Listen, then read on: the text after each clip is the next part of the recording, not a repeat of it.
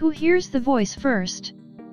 Does the speaker listen to the speaker in the auditorium first, or the person who sits in his home, and put earphone on the radio in his ear listening to the lecture?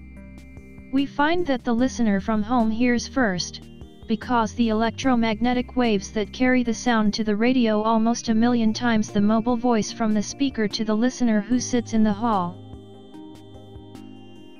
If you like this video, don't forget to press like button and subscribe the channel.